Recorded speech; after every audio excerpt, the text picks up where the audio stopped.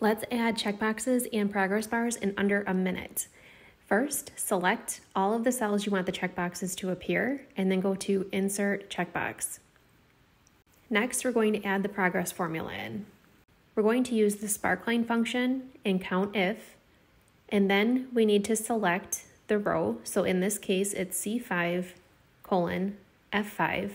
We want to return when it's true, and then comma chart type we need to enter bar because we want to see a bar type of chart, and then max, and it's four for us because we have four milestones. Adjust that as needed. Then we need to address the color. We'd like it to be orange, but you can type in blue, green, whatever you like. Close that up. Now we're going to drag it down and check the check boxes, and there's your progress bars.